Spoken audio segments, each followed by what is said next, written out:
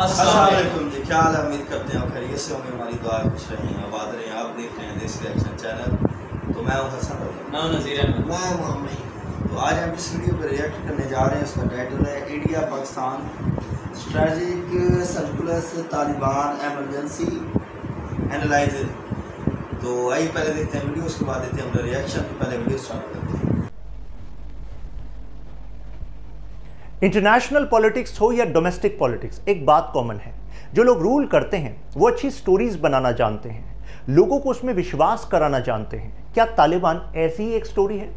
जो पाकिस्तान की हुकूमत ने इतने सालों से पाकिस्तान की जनता को सुनाई कि बड़े काम का है तालिबान। लेकिन आज वो बैकफायर कर रही है स्टोरी तालिबान के बारे में जब पाकिस्तान से लगातार पूछा गया कि आप क्यों सपोर्ट करते हैं तालिबान को? एक समय तो ऐसा था, जब बिग पावर्स तालिबान को सपोर्ट कर रही थी, जैसे यूएस सपोर्ट कर रहा था। लेकिन फिर एक वो भी समय आया, जब अलकायदा को हार्बर कर रहा था तालिबान और अलकायदा ने खुद यूएस पर अटैक किया, दुनिया के अलग अलग कोनों में अटैक किया। तो कहा गया क्या कर रहे हैं आप? तो पाकिस्तान का रेस्पॉन्स कुछ इस तरीके से था, जैसे आप मोबाइल यूज़ कर रहे हैं किसी के सामने। और वो आपसे कह रहा है कि, भाई, हम आपसे बात कर रहे हैं, आपके साथ बैठे हैं बात करने के लिए, आप मोबाइल क्यों यूज़ कर रहे हैं? तो आपका रेस्पॉन्स है, नहीं, मैं तो नहीं यूज़ कर रहा। कह रहे कर तो रहे हैं, मैं तो यूज़ नहीं कर रहा। अरे, कर तो रहे हैं। अरे, मैं ऑफिशियली एक्सेप्ट नहीं करता कि मैं यूज़ कर रहा हूँ। तो यानी कि आप यूज़ करें बट ऑफिशियली एक्सेप्ट नहीं करते। सबको पता है कि जो कैबर पख्तूनवा रीजन है स्पेशली उसमें क्वेटा वह, वो एक तरीके से बेस रहा है तालिबान के लीडर्स का। और आप सभी को पता है अलकायदा ओसामा बिन लादेन कहाँ पाए गए? पाकिस्तान में पाए गए। तो पाकिस्तान इसको स्ट्रेटेजिक कैलकुलस का पार्ट मानता रहा है, लेकिन ये पूरी की पूरी एक मिसगाइडेड अप्रोच रही है। इसी को आज डिटेल में हमें एनालाइज करना है। शुरुआत करने से पहले एक छोटी सी information UPSC pre cum mains course आप ज्वाइन कर सकते हैं। डबल नाइन डबल नाइन ये अभी सेल चल रही है। त्यागी फ्लैश आप कोड यूज़ कर सकते हैं।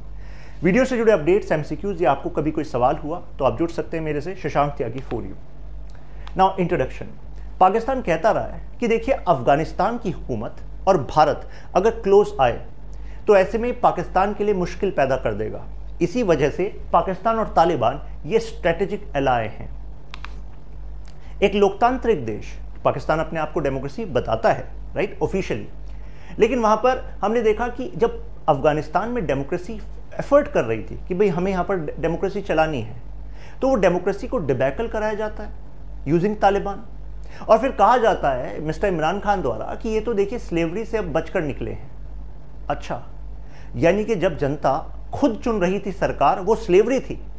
और आज जो तालिबान आ गया है, ये स्लेवरी से के शैकल से आप बाहर गए हैं। तो आपको नहीं लगता ये लॉजिक दिए जाते हैं, जो कि एक्चुअली बेसलेस होते हैं? वो कहता है कि देखिए, तालिबान हमें हेल्प करेगा काउंटर करने के लिए जो इंडिया और अफ़गानिस्तान की क्लोजनेस है। पाकिस्तान का मानना है कि एक फ्रंट पे तो हमें इंडिया से थ्रेट है ही। और अगर दूसरी तरफ़ इंडिया मज़बूत हो गया तो अफ़गानिस्तान वाले फ्रंटियर से भी हमारे लिए थ्रेट होगा। तो यानी कि ये कैलकुलेशन है जिसके आधार पर वो चाहते हैं कि तालिबान की हुकूमत वहाँ पर आए। अब आप में से कुछ लोग शायद सोच रहे होंगे, इसके लिए तालिबान को लाने की ज़रूरत क्या थी? भाई, वहाँ पर जो लोकतांत्रिक सरकार एफर्ट कर रही थी पिछले कुछ समय से तो उसके साथ ऐसी अलायंस कर लेते, जिससे कि ये जो खतरा है आपको अफ़गानिस्तान की तरफ़ से, वो ऑफसेट हो जाता। लेकिन इसका कारण ये है कि खुद उन्होंने देखा कि इस जो डेमोक्रेसी की गवर्नमेंट वहाँ पर आई, वो इंडिया के साथ क्लोजनेस रखती थी। और वो इसलिए रखती थी क्योंकि उनकी खुद की प्रोस्पैरिटी उन्हें चाहिए था इन्वेस्टमेंट एड वो इंडिया दे रहा था। तो ऐसे में वो तो इंडिया से दूर जाने वाले थे नहीं। तो ऐसे में कोई ऐसा चाहिए था जो इनका तख्ता पलट कर सके। तो ऐसे में Taliban became a natural ally strategic alliance लेकिन अभी हम देख रहे हैं वो फेलियर साबित हो रहा है। क्यों? खुद पाकिस्तान पर अटैक हो रहे हैं, एक ऑफशूट से जो तालिबान से रिलेट करता है। मतलब क्या हुआ? तहरीक तालिबान पाकिस्तान टीटीपी जब इस टीटीपी ने देखा, यानी कि ग्रुप ने देखा कि भाई तालिबान इतना बड़ा सक्सेस अचीव कर सकता है यूएस और नेटो के खिलाफ तो अब उसमें कॉन्फिडेंस और ज़्यादा बूस्ट हो गया है। तो जो डोज पाकिस्तान ने दी थी, पैन इस्लामिज्म, जिहाद की डोज दी थी, अब उस डोज को लेकर मज़बूत हुआ एक डेविल, अब वो पाकिस्तान के लिए मुश्किलें खड़ी कर रहा है। अब इसकी शुरुआत कहाँ से हुई? ऐसा मत मानिएगा कि इसमें, इस स्टोरी में केवल इंडिया और पाकिस्तान का ही एंगल है, अब मतलब तालिबान को बनाने में। यहाँ पर देखिए स्टार्ट तो हुआ था 1947 से ये कहानी। कैसे? स्टार्टिंग से ही पाकिस्तान को लगता था कि भाई जब ये क्रिएशन हो रहा है तो इसमें कुछ डिस्प्यूट्स हैं। जैसे जम्मू कश्मीर किसके पास जाए, जूनागढ़ किसके पास जाए, एक टाइम पर वो चाह रहा था कि यहाँ पर भी पाकिस्तान बने। तो एक स्टोरी फैलाई गई कि पाकिस्तान के लिए एग्जिस्टेंशियल क्राइसिस है इंडिया वहाँ से इंडिया से क्रिएट होगा। कई लोगों ने कहा कि भाई जब ब्रिटिशर्स टू नेशन थ्योरी का यूज़ करके दो देशों को बनाकर जा रहे हैं तो इसके बाद पाकिस्तान के डिजोल्यूशन की तो बात ही नहीं उठती। लेकिन पाकिस्तान के स्ट्रेटेजिक जो पॉलिसी मेकर्स थे, उनका कहना था कि नहीं नहीं इंडियन लीडर्स चाहते हैं पाकिस्तान डिजोल्व हो और ये पूरा क्षेत्र दोबारा से यूनिफाई हो। तो ये पाकिस्तान की खुद के एग्जिस्टेंस के लिए खतरा है। तो ऐसे में हमें हर एक कैलकुलेशन को ध्यान में रखना पड़ेगा। जो आपको कहा कि अंडू करना चाहते हैं पार्टीशन को। तो एक एंगल तो था इनिशियल यानी कि existential crisis which can be possible in Pakistan by the efforts made by India अब दूसरा एंगल है अफ़गानिस्तान पाकिस्तान बॉर्डर अब ये क्या एंगल है? जरा देखिए, ये है अफ़गानिस्तान और यहाँ पर आपको दुरंद लाइन दिख रही होगी। दुरंद लाइन डिसाइड कौन कर कर गया था? ब्रिटिशर्स डिसाइड करके गए थे। तो ऐसे में अफगान बेस्ड लीडर्स का कहना था कि भाई 1880 से ज़रा पहले का इतिहास खोलकर देखिए पाकिस्तान। पाकिस्तान ने कहा हाँ हमने देखा हुआ है। इसमें क्या नई बात है? तो अफ़गानिस्तान के लीडर्स ने कहा कि नई बात यह है कि जिस एरिया को अभी आप पाकिस्तान बता रहे हैं, वो कभी अफ़गानिस्तान का पार्ट होता था। ये ब्रिटिशर्स, ये कॉलोनियल पावर्स आए और इन्होंने हमसे हमारा हिस्सा छीन लिया। अब क्योंकि ये चले गए हैं तो हमें तो अपना हिस्सा वापस चाहिए। पाकिस्तान ने कहा, ये तो ना हो पाएगा। तो ऐसे में अफ़गानिस्तान और पाकिस्तान में भी टसल था। यहाँ पर ये जो आप एरिया देख रहे हैं, इसको हम कह रहे हैं Pashtunistan disputed area of Pakistan. यानी कि यहाँ से मांग उठती रही है कि हम यूनिफाई करना चाहते हैं पश्तुनिस्तान को और इसके लिए ये वाला एरिया अफ़गानिस्तान को दे देना चाहिए। अगर ये एरिया चला गया तो पाकिस्तान के लिए बहुत बड़ा फेलियर होगा। एक तो देश टूट जाएगा, दूसरा, जरा एक कोस्ट देखिए राइट और इस कोस्ट में दो तिहाई पार्ट तो यही आ रहा है। तो ये तो पाकिस्तान के लिए इकोनॉमिक सिक्योरिटी के लिए भी खतरा हो जाएगा। जो ग्वादार पोर्ट बन रहा है, वो यहीं पर बन रहा है, बलूचिस्तान एरिया में। तो बेसिकली जो बलूचिस्तान है, वो पाश्तूनिस्तान, जो बड़ा ड्रीम है उसी का एक पार्ट माना जाता है। हालाँकि एक सब नेशनल मूवमेंट भी है बलूचिस्तान की, उसके बारे में भी हम बात करेंगे। तो इस वजह से पाकिस्तान हमेशा से कॉशस रहा है अफ़गानिस्तान को लेकर। पाकिस्तान चाहता है कि अफ़गानिस्तान में ऐसी सरकार बने जो ये मांगे ना करे। पाकिस्तान की सोमनिटी और इंटीग्रिटी के लिए खतरा ना हो। काबुल है हिस्टोरिकली जो मैंने अभी आपको कहानी बताई, वही यहाँ पर लिखी है। और यहाँ पर पाश्तुनिस्तान की मांग चलती रहती है। अभी जो तालिबान है उसमें भी कुछ जो फैक्शंस हैं, वो पाश्तून है. इवन जो मेजोरिटी ऑफ़ फैक्शंस है, वो पाश्तून है. इसका मतलब क्या हुआ? देखिए, तालिबान में भी कई सारे ट्राइब्स हैं. तजिक एथनिसिटी के ट्राइब्स भी हैं, पाश्तून भी हैं अदर्स भी हैं. लेकिन मेजोरिटी पाश्तून है.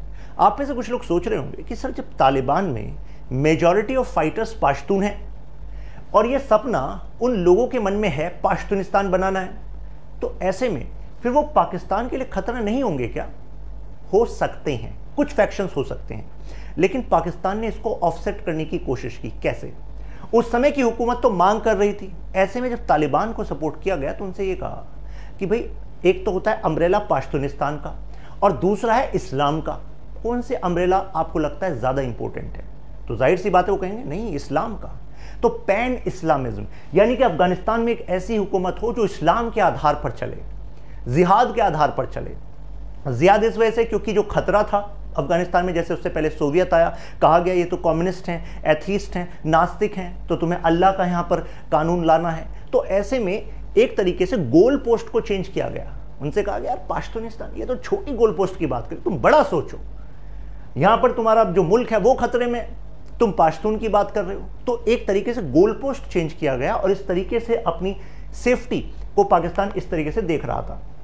हामिद करजई, अशरफ गनी, दो प्रोमिनेंट लीडर्स उस समय के जब डेमोक्रेसी चल रही थी, दोनों ने एक एक बैलेंस करने की कोशिश करी पाकिस्तान के साथ। लेकिन उन्होंने कभी पाश्तून यूनिटी को क्वेश्चन नहीं किया।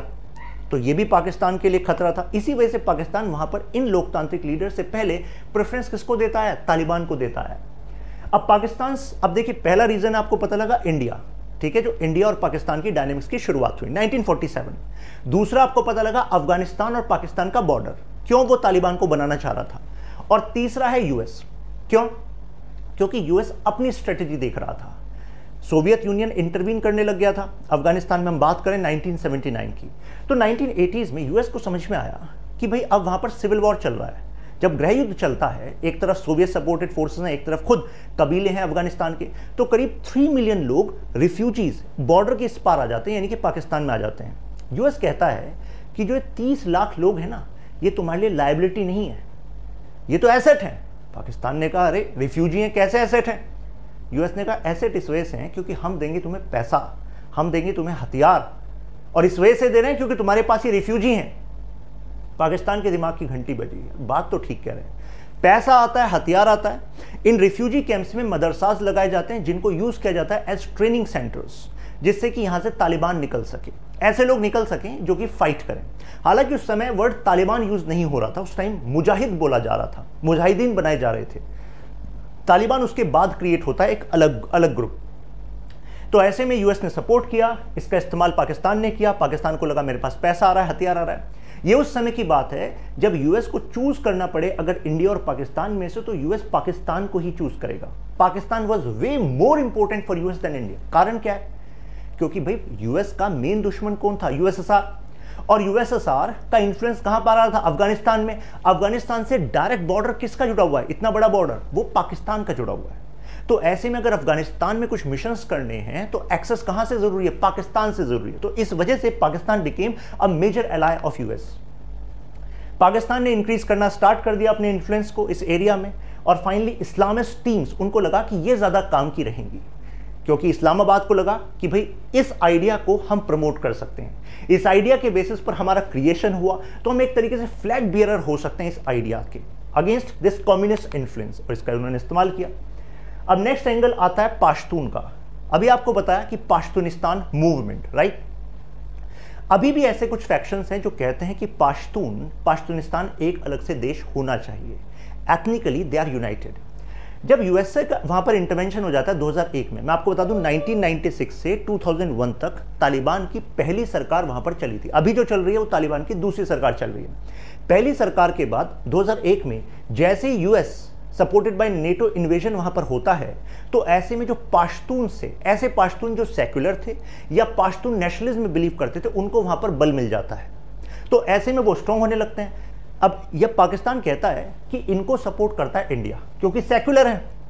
और दूसरा, ये नेशनलिस्ट कंपोनेंट है पाकिस्तान। अगर इन, ये मज़बूत हो जाते हैं तो इससे पाकिस्तान वीक हो जाएगा। तो ऐसे में वो चाहता था कि इसका कुछ ना कुछ सोल्यूशन तो हो। तो ऐसे में उसने अपना सपोर्ट तालिबान को और ज़्यादा बढ़ाना स्टार्ट कर दिया। पाश्तून और पैन इस्लामिज्म, उसने कहा, किसको चुनना है? तो बड़ी हेड को चुनो, बड़े अम्ब्रेला को चुने। तो बड़ा अम्ब्रेला क्या है? Pan Islamism. इसको ऐसे समझा देता हूँ। अगर मान लीजिए डोमेस्टिक पॉलिटिक्स में भी वोट्स बटे हुए हैं कास्ट के बेसिस पे, ठीक है? और किसी पार्टी को अब इन वोट्स को कंसेंट्रेट करके अपने पाले में लाना है तो क्या तरीका अपनाएँगे? भाई, उनको कुछ ऐसा अम्ब्रेला दो जिसमें सब इकट्ठे आ सकें। उनसे कहो कि भाई देखो, आप जाति जाति की बात कर रहे थे कि आपकी जाति मज़बूत होनी चाहिए, आपके साथ गलत हुआ है राइट हम समझते हैं उन भावनाओं को। लेकिन अब आपको खतरा जो है धर्म के आधार पर है। तो आप किसको चुनोगे? जाति को, धर्म को? तो कहेंगे धर्म को। तो अब कितनी सारी जो जातियाँ थी, वो कंसेंट्रेट हो जाएँगी एक अम्ब्रेला में, धर्म के अंतर्गत। धर्म एक बड़ा अम्ब्रेला हो जाएगा।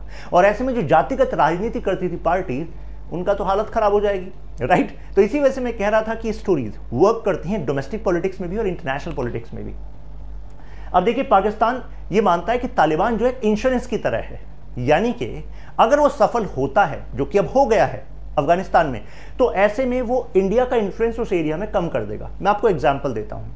जैसे इंडिया ने हैविली इन्वेस्ट किया छाबहार पोर्ट पर ईरान पर। इंडिया चाहता था कि ईरान के थ्रू हम अफ़गानिस्तान का इस्तेमाल करें मतलब अफ़गानिस्तान की टेरिटरी का यूज़ करें, और उसके बाद फिर तुर्कमेनिस्तान राइट तो ऐसे में हम सेंट्रल एशिया में अपने व्यापार को बढ़ाना चाहते थे राइट लेकिन अगर यहाँ पर तालिबान आ जाता है तो हमने क्या अब हमारे लिए क्या हुआ कि यार हमने टू बिलियन से ज़्यादा वहाँ पर एड इन्वेस्टमेंट किया है।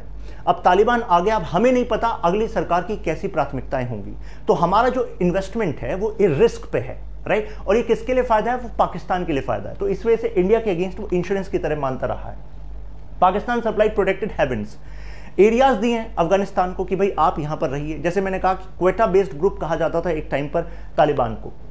अब साथ में देखिए increase in number of attack अब क्या हो रहा है? जो आपको बताया टीटीपी तहरीक तालिबान पाकिस्तान, वो मज़बूत हो गई है और वो अटैक कर रही है पाकिस्तान पे। On the pan Islamism and jihadis idea 124 से ज़्यादा टेररिस्ट अटैक हुए पा, पाकिस्तान के मिलिट्री बेस पर अटैक हुआ प्र, प्राइमरी स्कूल पर अटैक हुआ। आपने देखा होगा मतलब काफ़ी न्यूज़ थी कि इतने सारे बच्चे जो हैं वो आ, बेसिकली आ, इस टेररिस्ट अटैक में मारे गए राइट तो एक तरीके से ये है कि आप डेविल को क्रिएट करेंगे तो अल्टीमेटली उसका नुकसान आपको होगा। मैं यहाँ पर मुझे याद आ रहा है महात्मा गांधी जी की एक बात। उन्होंने कहा था कि वायलेंस से आज़ादी मिल सकती है। मीन्स वायलेंस से आप ब्रिटिशर्स को भगा सकते हो हो सकता है, लेकिन आज़ादी इन ट्रू सेंस मिल जाए, वो शायद पॉसिबल नहीं है। इस बात पर काफ़ी क्वेश्चन हुआ गांधी जी पर। ये क्या बात आप कर रहे हैं? अरे, आज़ादी का मतलब यही तो है कि जो कॉलोनियल पावर है, उनको बाहर फेंके, ये आज़ादी है। तो गांधी जी कहते थे, आप इसकी गहराई को मिस कर रहे हैं। आज़ादी का मतलब है जब लोगों के पास चॉइसेस होगी एक बेहतर भविष्य की। तो कई लोगों ने कहा, इसमें क्या दिक्कत है? जब ये ब्रिटिशर शोषण करें, इनको भगाएँगे तो चॉइस चॉइस ही होगी। बहुत सारी चॉइसेस होंगी बेहतर भविष्य की। गांधी जी ने कहा कि अगर आपने वायलेंस का इस्तेमाल करके, कुछ ग्रुप्स बने वायलेंस का इस्तेमाल किया और ब्रिटिशर्स को भगा दिया तो ऐसे में अब एक्सपीरियंस हो जाएगा इंडियन मास्टर्स को कि वायलेंस के थ्रू हम ब्रिटिशर्स को ओवरथ्रो कर सकते हैं। और ऐसे में अब आगे भी इस एक्सपीरियंस का इस्तेमाल हो सकता है। जैसे कई देशों में हुआ, जहाँ पर वायलेंट ओवरथ्रो हुआ किसी पावर का तो कई बार जो नई पावर आई, उसके खिलाफ भी वायलेंट ओवरथ्रो की चांसेस बढ़ गए। जैसे आप चाइना का एग्ज़ाम्पल ले लीजिए। कम्युनिस्ट उन्होंने वायलेंस का इस्तेमाल किया in the leadership of Mao Zedong लेकिन जब माओ जदौन को खुद ही लगा कि अब मेरी जो सत्ता है, वो कमज़ोर हो रही है मेरी पार्टी में तो उन्होंने क्या करा? कल्चरल रिवोल्यूशन कहा कि अब जो है, हमारे सिस्टम के अंदर ही कुछ लोग कैपिटलिस्ट हो गए हैं। तो जनता, क्या करना है? एक्सपीरियंस तो था ही। किसका? वायलेंस का। तो इसका फिर वायलेंस का इस्तेमाल हुआ। तो ऐसे में कई बार बहुत ज़्यादा मात्रा में लोगों की जान को हानि होती है मतलब डिवेस्टेशन होता है। तो एक लॉजिक दिया जाता है। तो देखिए क्या क्राइसिस खुद पाकिस्तान ने झेले हैं। जिन, जो ऐसे बच्चे थे जिनको अभी जीवन जीना था, कुछ बेहतर कर सकते थे। उनकी जान की बली लग गई इस मिसकनसेप्शन इन इन स्टोरीज़ के चक्कर में। स्टोरीज ऑफ़ कॉन्फ्लिक्ट अब जब इतने बड़े अटैक हो गए पाकिस्तान पे, अब वो शांत तो बैठ नहीं सकते थे, क्योंकि जनता जवाब मांगेगी। तो पाकिस्तान ने एयर स्ट्राइक करी इन दीज टेरिटरीज जहाँ पर टीटीपी के होने के कयास लगाए जाते हैं। तो ऐसे में तालिबान ने इसका प्रोटेस्ट किया कि भाई आप ये क्या कर रहे हैं? तो फिर उसके बाद जब यूएसए का विड्रॉल हुआ, हम उस उस टाइम की बात करें कि जब यूएसए का विड्रॉल नहीं हुआ, अब जैसे यूएसए का विड्रॉल हुआ तो अब जो तालिबान अभी कुछ एरियाज़ में अपनी सत्ता रखता था, अब वो पूरे काबुल पर काबिज हो गया। तो ऐसे में ये एक ब्लो था पाकिस्तान के लिए भी, क्योंकि पाकिस्तान भी सोच रहा था कि इतनी जल्दी ऐसा नहीं होगा। तो पाकिस्तान वाया अफ़गानिस्तान, पाकिस्तान चाहता था कि स्ट्रेटजिक कैलकुलस कैलकुलस में मैनेजमेंट तभी हो पाएगा, जब यहाँ पर तालिबान रहेगा, और तालिबान की फुल सत्ता अभी नहीं आएगी। कारण, मैं इसका लॉजिक बताता हूँ आपको। देखिए, जब चांसेस बने रहते हैं कि ऐसा होगा या नहीं होगा तो ऐसे में पाकिस्तान की इंपॉर्टेंस बढ़ती है। लेकिन अब अगर वो क्लैरिटी आ गई है कि भाई तालिबान आ गया है तो अब, और यूएस चला गया है तो ऐसे में क्या यूएस की नज़रों में अब पाकिस्तान की उतनी इंपॉर्टेंस होगी? नहीं होगी राइट भाई, अभी तक पाकिस्तान को इसलिए सपोर्ट करता रहा क्योंकि उसको ज़रूरत थी पाकिस्तान की पाकिस्तान की टेरिटरी की। लेकिन जब क्लियर हो गया है कि अब तालिबान आ गए तो अब उसकी इतनी ज़रूरत नहीं रहेगी। तो ऐसे में पाकिस्तान को लगा कि यार, ये तो मेरे लिए strategically I am going to be on back foot Pakistan didn't anticipate this और देखिए पोस्ट विड्रॉल बिडेन एडमिनिस्ट्रेशन ने क्या करा? विड्रॉल तो किया ही, लेकिन साथ में एक डिस्टेंस भी बना लिया पाकिस्तान के साथ। यही बात मैं आपको समझा रहा था। अब पाकिस्तान के लिए चैलेंज आ गया कि यार ये मिसकैलकुलेशन हुई है। अब हमें मैनेज करना है तालिबान को भी और यूएस को भी। We have to manage ties अब पाकिस्तान को एक अपना नया रोल देखना था। वो रोल आया मिडिल का। यानी कि अब नई सरकार आई है तालिबान की तो दुनिया के अलग अलग देश अफ़गानिस्तान में इस तालिबान सरकार के साथ अपने संबंध स्थापित करना चाहेंगे। लेकिन किसके थ्रू चाहेंगे? पाकिस्तान के साथ। क्योंकि पाकिस्तान क्लोजेस्ट एलाय रहा है तालिबान का। तो अपना एक नया रोल उन्होंने ढूंढ लिया। जैसे चाइना को इन्वेस्टमेंट करना है तो चाइना को पता है कि मेरी पाकिस्तान के साथ करीबियाँ यहाँ पर काम आएँगी। पाकिस्तान इंटेलिजेंस ने हेल्प किया तालिबान को लगातार, और ऐसे में कुछ इंपॉर्टेंट कॉन्स्टिट्युएंसीज जो हैं पाकिस्तान की, जहाँ पर फंडामेंटलिज्म और ये ज़्यादा है, उस पर बेसिकली ज़्यादा इन्फ्लुएंस हो गया तालिबान का। अब तालिबान इसी का इस्तेमाल कर रहा है अगेंस्ट पाकिस्तान तो ये भी एक स्ट्रेटजिक फेलियर है, जैसे हक्कानी कम्युनिटी तो ये तालिबान के अंदर ही एक फैक्शन है, जिसके पास सिग्निफिकेंट अमाउंट ऑफ़ फाइटर्स हैं, जो तालिबानी फाइटर्स हैं। और इसकी इंपॉर्टेंस इस बात से आप लगा सकते हैं कि इस हक्कानी ग्रुप के लीडर को डेप्यूटी प्राइम मिनिस्टर का दर्जा मिला हुआ है, अभी जो सरकार बनी है अफ़गानिस्तान में। अब पाकिस्तान ने फिर टीटी पर जो, टीटीपी पर जो ड्रोन अटैक किए हैं तो ऐसे में अब अफ़गानिस्तान की बेस तालिबान सरकार ने कहा है कि ये तो आप सोवनिटी पर हमला कर रहे हैं। यानी कि जो आप कन्वेंशनली मानते हैं कि everything is good between Taliban and Pakistan, वो नहीं है। इनके बीच में भी प्रॉब्लम्स हैं। बलूचिस्तान सेपरेटिस्ट मूवमेंट रिपब्लिक जो अफगान की गवर्नमेंट थी, यानी कि इससे पहले जो लोकतांत्रिक सरकार थी, वो सपोर्ट करती रही है बलूचिस्तान की मूवमेंट को। और यहाँ पर पाकिस्तान का कहना है, इन दोनों के सपोर्ट के पीछे है इंडिया। तो ऐसे में बलूचिस्तान की पावर पिछले कुछ समय में इंक्रीज हुई है, जिसकी वजह से बलूचिस्तान बेस्ड फाइटर्स ने पाकिस्तान के कई इलाकों में अटैक भी किए हैं स्पेशली इंफ्रास्ट्रक्चर पर, जिस पर चाइना काबिज होना चाहता है। जैसे कि चाइना पाकिस्तान इकोनॉमिक कॉरिडोर जैसे कि ये ग्वादार पोर्ट बलूच वाले एरिया में पड़ता है। तो ये एक एंगल है जिस पर पाकिस्तान तालिबान की अलायंस को इंपॉर्टेंट मानता रहा है। अब, अभी जो चेंज हुआ है, यानी कि इमरान खान से मिस्टर शरीफ तो क्या आप कुछ बदलाव आने वाला है? ऐसा देखा जा रहा है कि शायद मिस्टर शरीफ अब यूएस के साथ अपने टाइज को और ज़्यादा इंप्रूव करेंगे। लेकिन ये इस बात पर भी डिपेंड करता है कि यूएस कितना चाहेगा अपने टाइज को या अपने इन्वेस्टमेंट को यहाँ पर बढ़ाना। अब, एक तरीके से हम देख सकते हैं कि शेयर ऑफ़ पावर हो रहा है। मीन्स पाकिस्तान में स्ट्रेस द तालिबान मिलिट्री कि भाई आपके यहाँ पर जो आप शेयर कर रहे हैं पावर को, आपके यहाँ पर जो सेक्शंस ऐसे हैं जो पाकिस्तान के हित में नहीं है, आप उनको बाहर करिए। क्योंकि बाहर से आपको लगता होगा कि तालिबान एक ग्रुप है राइट लेकिन तालिबान के अंदर भी कई ग्रुप्स हैं। और इन सभी ग्रुप्स को मैनेज करना that is what Pakistan wants एक समय ऐसा भी था कि ये कहा जाता कि ये फैक्शंस ऐसे हैं जिनके साथ इंडिया शायद अलायंस बना सकता है, ये फैक्शंस ऐसे हैं जिसके साथ इंडिया बातचीत नहीं कर सकता। तो पाकिस्तान के लिए भी अब वही मुश्किलें आ गई हैं। अब वे फॉरवर्ड क्या है? एक तो सबसे पहले पाकिस्तान को रिवीजन करना पड़ेगा अपनी पॉलिसी अपनी स्ट्रेटजी टुवर्ड्स तालिबान। क्योंकि वो खुद देखे कि कितना नुकसान उनके देश को इस वजह से हो रहा है राइट दूसरा avoid this pan Islamism and jihadism क्योंकि इसकी वजह से खुद उनको नुकसान हो रहा है। तो इस पूरे आइडिया को ही जो पैरानोया वो फैलाता है कि इंडिया ये कर देगा, अफ़गानिस्तान ये कर देगा, ये हटा देना चाहिए। देखिए इंटरनेशनल पॉलिटिक्स में एक कम्युनिकेशन थियरी है, वो ये कहती है कि कई बार जो युद्ध जैसी स्थितियाँ, कई बार जो सरकारें गलत फैसले लेती हैं, उसका एक कारण है कि सही कम्युनिकेशन स्थापित नहीं होती। इस वजह से मिसकंसेप्शन बनते हैं। मिसकंसेप्शन में आपको एक इंडिकेशन मिला कि अच्छा इसने ऐसा अटैक किया, या ये स्ट्रांग हो रहा है तो आप अपना अंदाज़ा लगा लेते हैं कि अच्छा ये इस वजह से हो रहा है क्योंकि ये लोग मिलकर ऐसा कर रहे होंगे।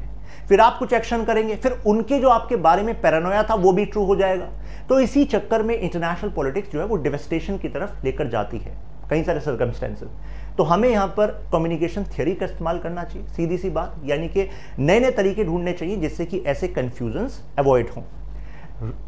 नेबर्स की सोवनिटी को रेस्पेक्ट करना होगा, चाहे वो अफ़गानिस्तान हो, चाहे वो इंडिया हो। और अपने बिज़नेस को इन नेबर्स के साथ बढ़ाना होगा। क्योंकि कहा जाता है कि अगर आपका व्यापार बढ़ेगा तो इट इज़ लेस लाइकली कि आप एंगेज होना चाहेंगे वॉर में, क्योंकि आपकी इकोनॉमी बहुत ज़्यादा इंपैक्ट हो जाएगी। हालाँकि रशिया ने इस थ्योरी पर भी क्वेश्चन उठा दिए हैं। Now which airfield in Afghanistan was once considered busiest single runway airstrip to the world? आपको इसका आंसर देना है कमेंट्स में। इसका आंसर मैं पोस्ट कर दूँगा इंस्टाग्राम पर भी। Now mains question Taliban which surfaced prominently in Pak strategic calculus prove to be a misconception comment अब क्वेश्चन आई थिंक समझ में आ गया होगा।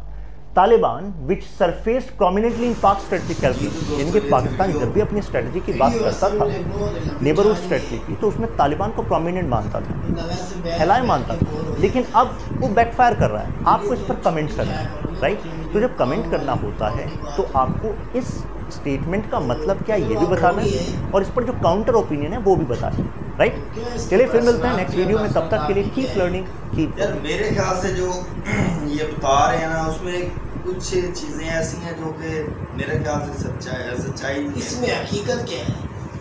हकीकत ये है कि ये जो तहरीक तालिबान की बात कर रहे हैं उसकी कहानी कुछ और लेकिन ये जो पाकिस्तान का नाम बदनाम हो रहा है इसकी इसके पीछे कुछ और लोग हैं। पाकिस्तान के अंदर लोग वो ज़रूर हैं। जो इनको सपोर्ट करते हैं।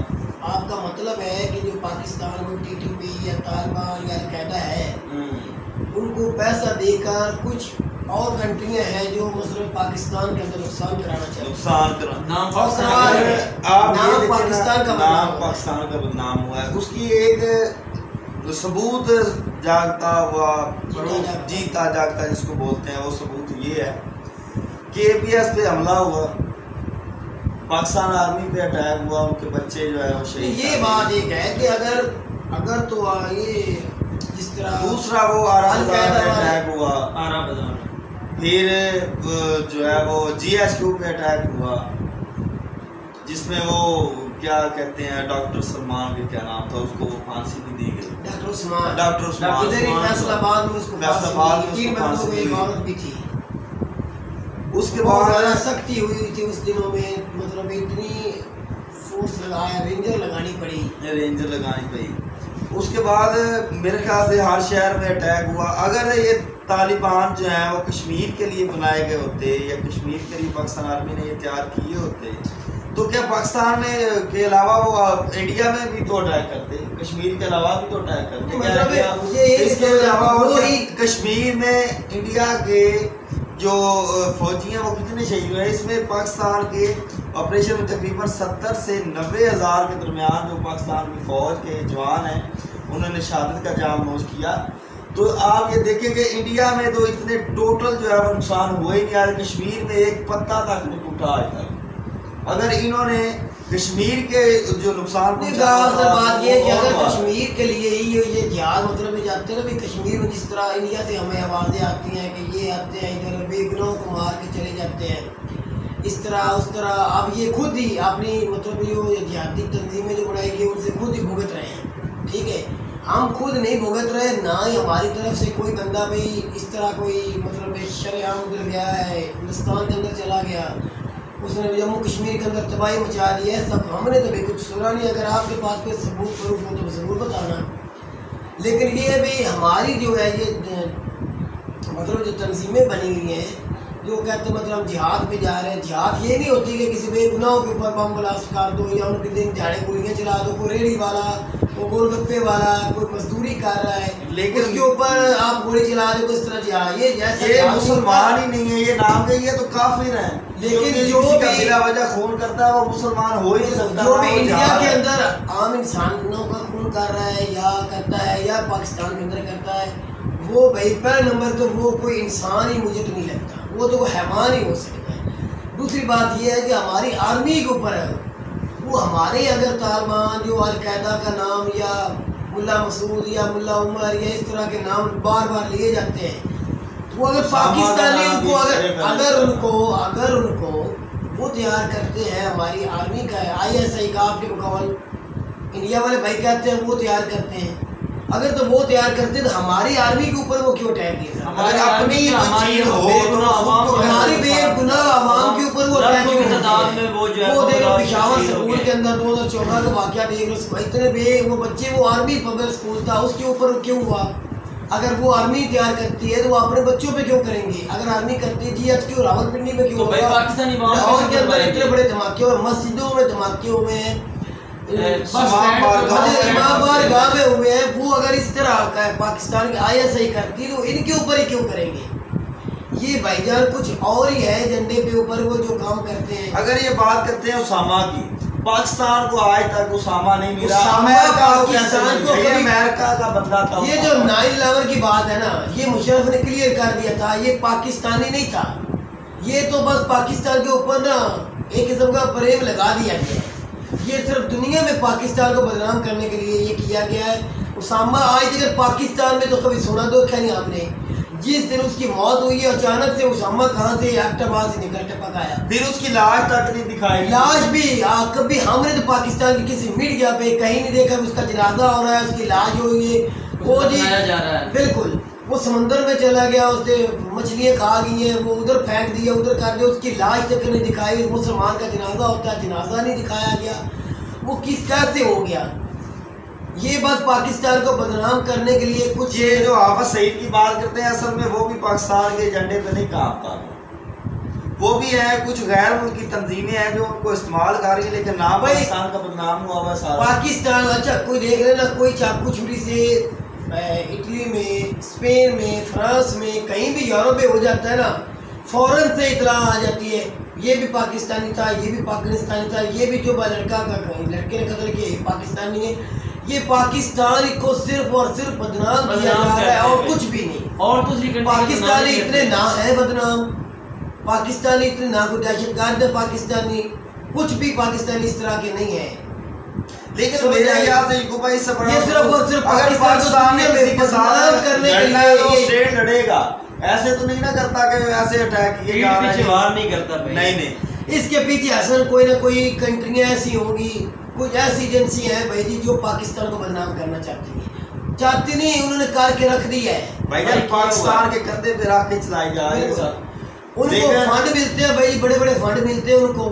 और वो पाकिस्तान के अंदर मतलब ये किया जाता है ना ये धमाके इस तरह। अगर हम ही करने तैयार करने वाले बार बार बोल रहा हूँ हमारी आई ऐसा ही करती है तो भाई हम क्यों हमारे ऊपर ही क्यों होगा? हमारी आर्मी के ऊपर फिर वो क्यों करेंगे? वो फिर क्यों कश्मीर में अटैक नहीं- करेंगे। नहीं, फिर इंडिया के शहरों में अटैक करेंगे। बिल्कुल इंडिया में करते या जम्मू कश्मीर के अंदर करते या इस तरह को वाक्य करते तो फिर तो आप पाकिस्तान को बदनाम करते अपने मुल्क में ना करते। बात सुना करो।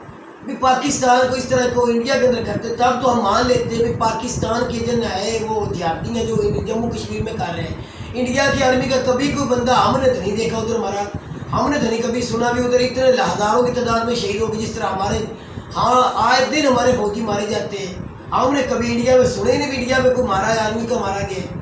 या कोई हाँ इस तरह मारे गए। हमारे यहाँ हमारे ही आर्मी मारी जाती है हमारे बंदों के ऊपर धमाके किए जाते हैं। ये किस तरह की ट्रेनिंग है?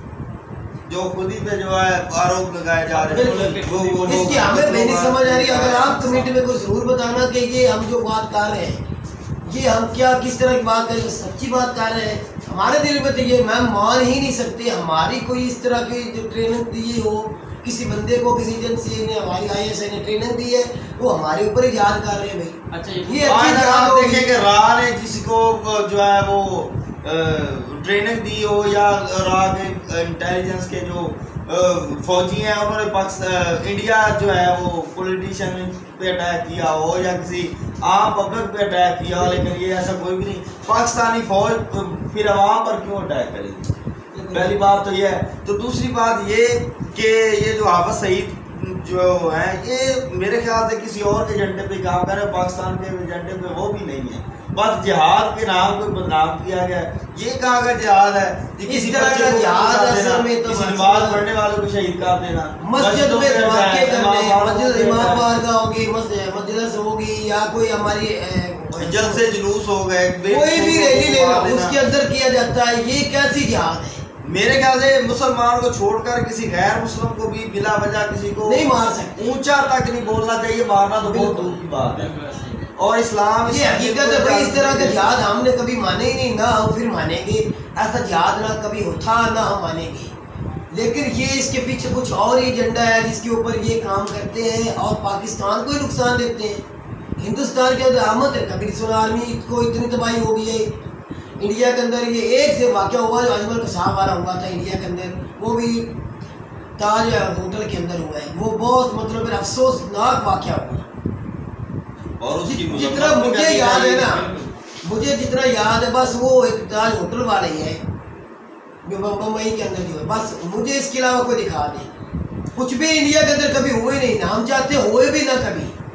और हमसे कभी भी किसी की तबाही पे खुश नहीं तालिबान की बात है तो वो एक डायलॉग हुए थे अमेरिका के साथ। वो चाहते थे कि हमारी फौज जो है वो बाहिफाजत वहाँ से निकले। तो सारे मुलाकात के ज़रिए वो तालिबान की हुकूमत है वो अफ़गानिस्तान की हुकूमत है जो तालिबान है। और आए दिन पाकिस्तान पे अटैक वो भी कर रहे हैं। और अफ़गानिस्तान ये चाहता है कि पाकिस्तान ने भी मदद की अफ़गानिस्तान। अफ़गानिस्तान ये चाहता है कि जितना भी ये हिस्सा मिलता है ना बॉर्डर हमारा गिल का है दूसरा सॉरी खैबर पख्तूनख्वा का वो मारगला है पहाड़ी इस्लामाबाद इस्लामाबाद जितना मिलता है वो पाकिस्तान का नहीं है। पश्तूनिस्तान जिसे मतलब- गिलगित बल्तिस्तान भी पाकिस्तान का नहीं है। तो पाकिस्तान फिर कहाँ गया? पाकिस्तान का हिस्सा क्यों चला गया? बलोचिस्तान भी बोलते हैं बलोचिस्तान पाकिस्तान का नहीं है। खैबर पख्तूनख्वा नहीं है? आज़ाद कश्मीर नहीं है। इस्लामाबाद नहीं है। तो पाकिस्तान फिर किधर? फिर तो नक्शे से खत्म हो गया। क्या बात है? कैसी बात नहीं यार। ये टोटल हिस्सा पाकिस्तान का है। पाकिस्तान का रहेगा। इसे कोई ज़िंदगी में पूरी हयाती में क्यामत कर ले ही को नहीं सकता। जुदा नहीं करता कोई जुदा नहीं कर सकता ये पाकिस्तान का है पाकिस्तान में ही रहेगा। बाकी नहीं कश्मीर चाहे अफ़गानिस्तान वालों का ये जितनी भी जिस तरह भी चला जाए जिधर भी चला जाए दुनिया में सबसे ज़्यादा अगर अफ़गानिस्तान को खाने पीने की अशिया दी है जिसको माना है जितना ज़्यादा पाकिस्तान ने खिदमत की अफ़गानिस्तान की आज तक दुनिया में किसी ने नहीं की। कोई अगर कंट्री ने किसी ने की तो मुझे बता दे कमेंट में ज़रूर बताना। नहीं इंडिया भी इंडिया ने किया। आप इंडिया कर रहे हैं। अगर जो है हामिद करजई या दूसरे गुर की हुकूमत में अगर इंडिया ने कुछ किया तो वो इन्वेस्ट किया है। ठीक है ना? वो अपने फ़ायदे के लिए इन्वेस्ट किया है। अगर किसी ने मदद की है तो दुनिया में सबसे ज़्यादा अफ़गानिस्तान की मदद पाकिस्तान ने की है। शुरू से लेकर आज तक। लेकिन अभी भी इस अफ़गानिस्तान बात के लोग कोई अभी भी तीन लाख से ज़्यादा अभी भी- को सपोर्ट करता है। आज भी आज भी तीन लाख से ज़्यादा बंदे जो है ना अफ़गानिस्तान के आम बंदे जो है पाकिस्तान में मजदूरी पाकिस्तान में मजदूरी कर रहे हैं। और अपने बच्चों का पेट जाकर वहाँ पालते हैं और सत्तर परसेंट फिर बोला जाता है कि पाकिस्तान दहशत गर्द है है। पाकिस्तान दहशत फैलाता है यार मुझे इस बात की समझ नहीं आती। लेकिन ये भी अपनी कंट्री के लिए आवाज़ उठाने का हर बंदे को हक है हमें भी हक है आपको भी हक है और हम आवाज़ उठाते रहेंगे। चाहे किसी को बुरी लगे चाहे किसी को अच्छी लगे। अपने पाकिस्तान अपने प्यारे पाकिस्तान के लिए हमारी जान भी कुर्बान है। हम वो बोलते ही रहेंगे हम किसी ना कभी डरे हैं ना डरेंगे। बाकी एक और बात है ये भी साजिशें हो सकती हैं कि पाकिस्तान और इंडिया के आपस में कुशीदगी बढ़े। और और तो अजलों से। हाँ। जब से कैद आज़म ने पाकिस्तान अपना अलहदा पाकिस्तान बनाया ना उस दिन से लेकर वो जो है ना गोरे वो तो ये साजिश कर रहे हैं कि हिंदुस्तान और पाकिस्तान मिल ना जाए कहीं। और मुश्किल है पाकिस्तान और इंडिया मिले आप और तरीक फैलाते जितनी कुशीदगी पाकिस्तान और इंडिया की हुई है इस इसका सारे का सारा जो है फ़ायदा अंग्रेज़ों ने उठाया है। गोरों को पहले दिन से हो रहा है पहले दिन से असला उन्होंने बेचा जहाज़ उन्होंने बेचे। यार भी- टोटल असला जो है ना देख रहे हैं कि इस तरह की जो लड़ाई झगड़े इस तरह के कोई भी चीज़ है ना इस्तेमाल जंग में इस्तेमाल होने वाली वो गोरे ही जो इधर भेजते हैं। और यूक्रेन में देख रहे हैं उसामा अमेरिका। के नाम पर देखे अमेरिका ने कितनी सियासी सबसे बड़ी जितना जितनी मैरिज इनकी हो चुकी है मैंने सबसे बड़ी साजिश देखी अमेरिका की नाइन इलेवन वो पाकिस्तान के ऊपर सिर्फ़ आरोप लगाया गया हकीकत कुछ भी नहीं पाकिस्तान ने कुछ भी नहीं किया। कुछ भी नहीं किया। और पाकिस्तान को आज तक अगर पाकिस्तान कुछ करता ना तो राय रेमंड डेवन पाकिस्तान में दिन दिहाड़े बंदा मार के कैसे चला गया बाहर उसको दिन दिहाड़े हम उसके ऊपर नहीं फेंक के कुत्ते ना फेंक देते हो रेमंड डेवन के ऊपर। ऐसे बेगैरत लंथी के ऊपर और फिर वो वापस भी फिर वो वापस कैसे चला गया? पाकिस्तान ऐसा ना कभी करता है ना सोचता है ना करना चाहता है। पाकिस्तान तो अमन चाहता है। सारी दुनिया के साथ अमन और प्यार के साथ रहना चाहता है तजारत करना चाहता है। सिर्फ़ और सिर्फ़ पाकिस्तान को बदनाम किया जा रहा है और करने की कोशिश ज़्यादा से ज़्यादा की जा रही है। और वो दिन दूर नहीं इंशाल्लाह। इंशाल्लाह मेरी पेशेंट को ये शेख रशीद की तरह याद रखना मैंने। पहले भी बोला था 2023 से पाकिस्तान की इंशाल्लाह खुशहाली की पाकिस्तान की शुरू हो जाएगी और पाकिस्तान एक अमन पसंद मुल्क है इससे बड़ा और कोई सबूत नहीं है कि आपके पास आपका अभिनंदन जो है इससे बड़ा और कोई सबूत अभिनंदन से पूछ ले आप। अगर अभिनंदन का वीडियो कोई दुनिया की कोई और सकते हैं, अगर दुनिया में कोई बंदा इसकी मिसाल मुझे नहीं दे दुनिया में कोई हमें मिसाल दो अभिनंदन जैसी कोई मिसाल दे दो। हमने ऐसे एक एक ना चाटा जो होता है ना चमाटा वो भी नहीं लगाया। मांगा किया भाई? उससे इस तरह रखा जिस तरह एक भाई भाई के साथ सलूक करता है। ठीक है ना? हम तो इस तरह के बंदे हैं हम तो इतना प्यार मोहब्बत करने वाले हैं। तो इंडिया का अमन होगा तो हाँ सियासी बयान हो सकता है सियासतदानों के सियासी बयान हो सकते हैं वो हिंदुस्तान में भी कश्मीर पे बोला जाता है तो इधर भी बोला जाता है वो सियासी बयान तो हो सकते हैं हकीकत इसमें कुछ भी नहीं जी तो बाकी जो है वो पाकिस्तान और इंडिया का जो सियासी बयान है इससे कुछ हट के सोचना चाहिए आवाम को भी। बिल्कुल।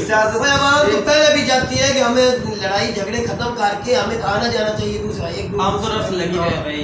ये सियासतदान बाकी ये जो तालिबान तालिबान और जहाद का नाम बदनाम किया ये एक गैर मुल्की साजिश है और इसके अलावा और कुछ नहीं है।